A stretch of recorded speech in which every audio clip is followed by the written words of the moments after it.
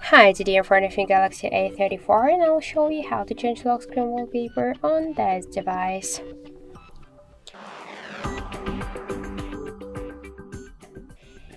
So let's first open the settings and then scroll down to wallpaper and style. Click here to change wallpaper and you will see here all of the photos from your device gallery previously taken on the device camera downloaded from the internet, all of the default photos.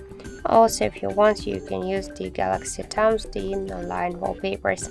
So for example, let's use one from the available default wallpapers and select lock screen. Select only lock screen, tap to next to down on the right upper corner change apply to lock screen so let's just check and we can see that we just did so simple also we got one more way how we can do that. Hold for a while first home screen and then on the left down corner tap to wallpaper and style.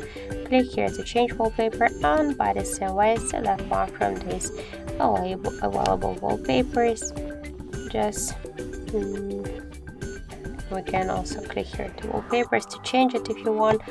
Uh, and just click to apply. And that's it.